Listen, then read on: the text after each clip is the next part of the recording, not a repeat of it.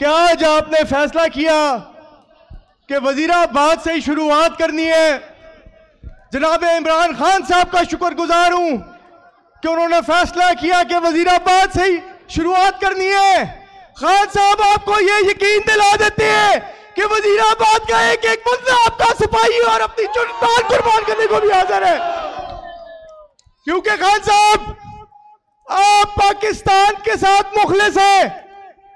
खान साहब, आपके बच्चों के मुस्तकबिल की लड़ाई लड़ रहे हैं।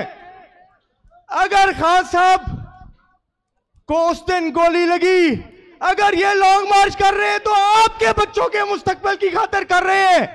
तो ऐसे शख्स का दोस्तों साथ नहीं छोड़ना, आखिर तक लड़ना है। हम घबराने वालों में से नहीं। मैं उन बुजदिलों को बता देना चाहता कमज़ोर दिलों में से नहीं। हम एक बहादुर कौम है और हकीकी आज़ादी हासिल करके रहेंगे, इंशाल्लाह। तो घबराना नहीं। दलेर रहने। उस दिन तो मैं अपने सलके के दोस्तों के साथ आया था। हम तुमसे डरते नहीं, घबराते नहीं। आज मेरी बहने, मेरी बीवी हम सब यहाँ पर आए। दलेर रहना। इंशाल्लाह आज़ादी हासिल करके रहने। अल्लाह के करवो फजल से। मैं इसके साथ साथ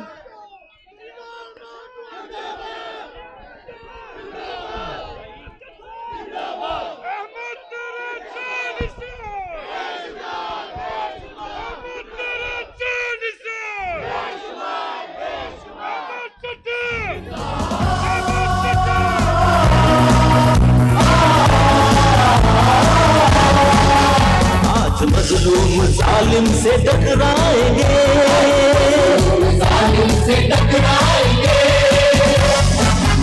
अपनी ताकत जमाने से मनवाएँगे। जमाने से मनवाएँगे।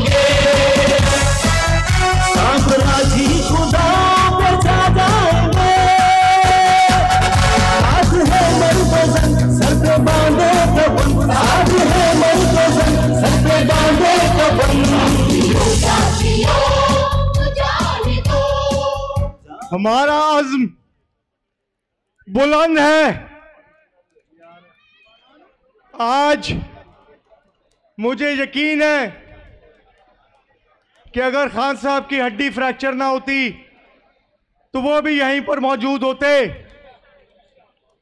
तो बस इंशाल्लाह सबकी सेहतियाबी की दुआ करें। जो हमारा भाई शहीद हो गया हमें बचाते हुए वहाँ पर उसके लिए दुआ करें। जितने दोस्त इंजर हुए, उन सब के लिए दुआ करें।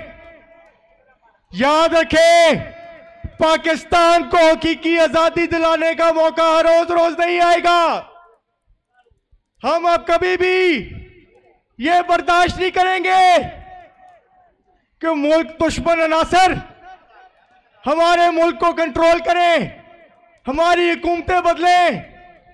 इंशाल्लाह ताला खान साहब ने इस कौम को वो शऊर दे दिया है कि इंशाल्लाह ये कौम हकीकी आज़ादी हासिल करके रहेगी। तो इस्लामाबाद तक चलोगे, पीछे तो नहीं हटोगे। और साथ साथ मैं आखिर में तमाम क्यादत का शुक्रगुजार हूँ कि आप सब यहाँ पर तशरीफ़ लाए। साथ में एक और जो उस दिन सोचा था कि शुक्रिया अदा करूँगा खान साहब का और तमाम क्यादत का।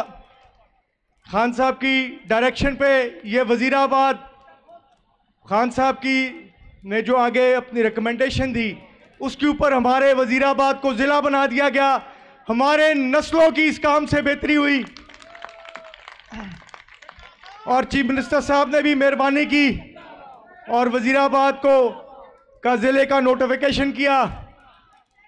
और सबसे ज़्यादा तो मैं आप सबका शुक्रगुजार हूँ कि इस तादाद में आप आ जाए और आपने पाकिस्तान तरीके इंसाफ की, बल्कि मैं तो समझता हूँ कि अपने मौक़ की, अपने मुस्तकबिल की तायद की।